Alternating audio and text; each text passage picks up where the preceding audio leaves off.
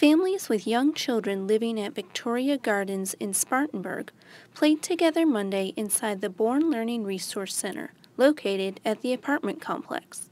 The center opened in December 2016. It encourages parents and children from birth to age 5 to play and learn together.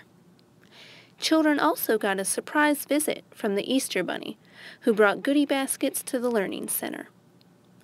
The center is full of playmats, toys, puzzles, books, and activity areas that help build sensory skills and aid developmental growth.